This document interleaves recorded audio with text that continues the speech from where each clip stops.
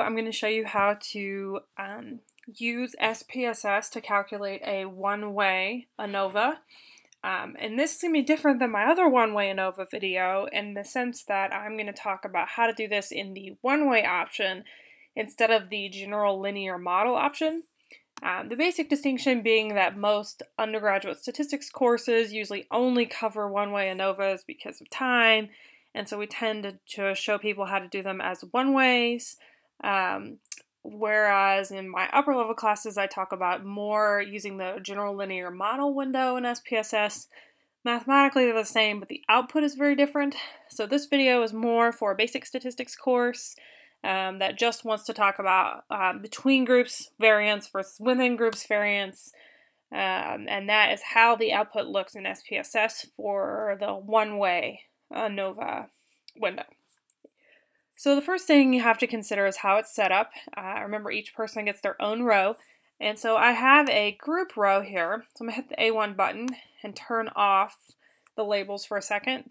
So you have to tell them, tell SPSS which group each person's in. So um, we get, you know, one for group one, two, and three. I have added value labels. So if you double click on the column, it will take you to variable view. And in variable view, you can see uh, here under values, I have labeled them as excellent, fair, and poor. So this is an example of what health condition you're in, that, and we're going to use that to determine how many friends you have. So you would think people who are in excellent health are going to have more friends because they can run around and do things with them. All right. The other thing you're going to need is a column for your dependent variable. And so I have the list of the number of friends, um, and I just advocate the use of value labels so that in the output you get, you get the, um, the group labels instead of one, two, three, so it's a little clearer what's going on. So to run this, we're going to go analyze, um, compare means, and so this is generally where um, basic level statistics go.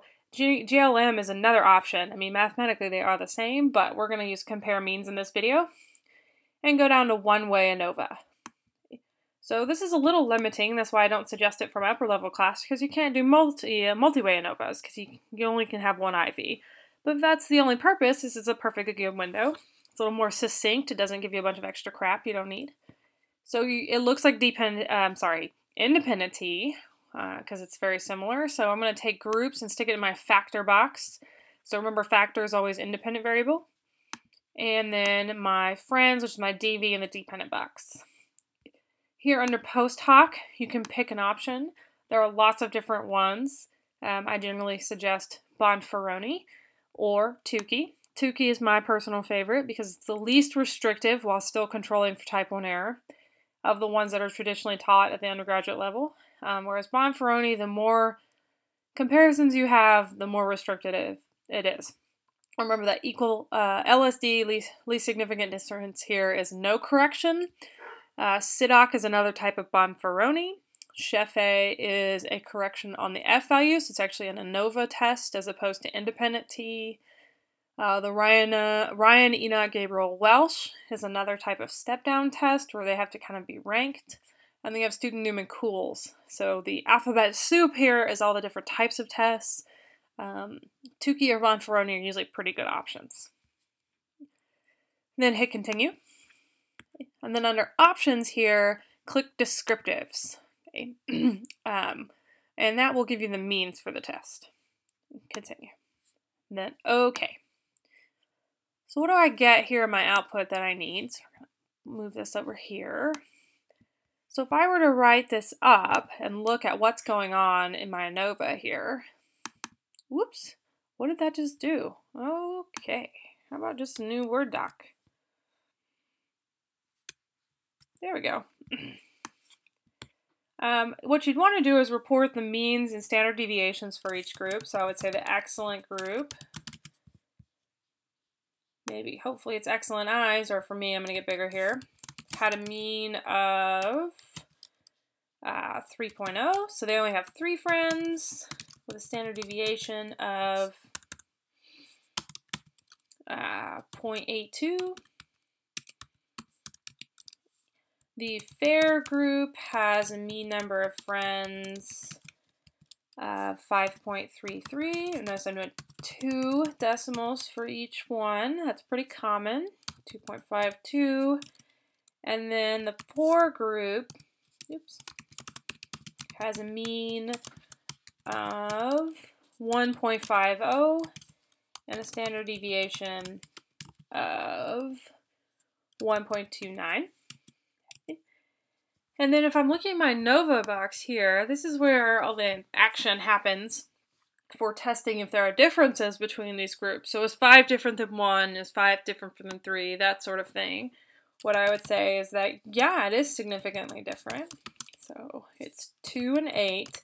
So you do degrees of freedom between, comma, degrees of freedom within, so between groups and within groups.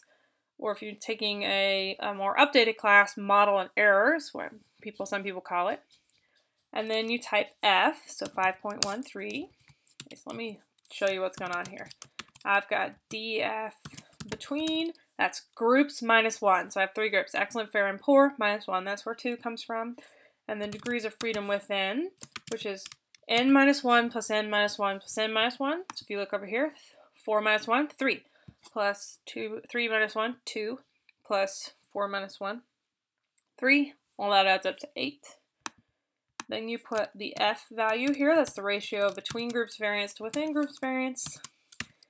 Sig, and we'd want to do R squared as our effect size, and that does not automatically come out of this window, so you'd have to calculate it. So let's do F here is 5.13. Oh, already did that. I'm going to do my P value. So I'm going to put P equals sig because sig is for significance level, so 0.04, I'm just going to round up. And then I do r squared with some fancy um, symbols here. And so r squared, if you don't get this out, is the between groups variance over the total variance.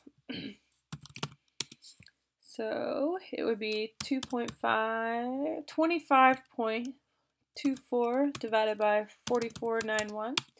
This would be 56% of the variance, which is a lot.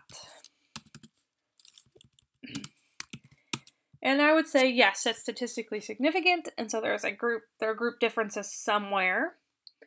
And then what I suggest to people is to talk about each po post hoc test one at a time. So excellent, remember this is a t-test with a Tukey correction, versus fair showed a non-significant difference.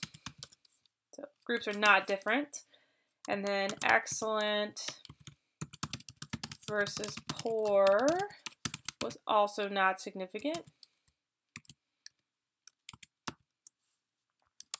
So I'm getting these numbers from excellent versus fair here when I'm looking at SIG. It doesn't show you the t-test, but it's there. And then excellent versus poor, and then here's SIG. And so it's hiding the fact that it's correcting these p-values for the number of comparisons we're doing and the number of groups since it's Tukey. And then I would do fair versus poor because that's the only combination I have left and that one is significant. And so that's why I found a significant difference here was that this group comparison is different. If you want to be really thorough, I tell you to go back in and add Cohen's D for each group. You can do that through MOTE, um, which there's a separate video on how to calculate these values for MOTE. Uh, but what you'd really do is use these um, means here and standard deviations and then just calculate each combination. So that's how you run a ANOVA using the one-way window in SPSS.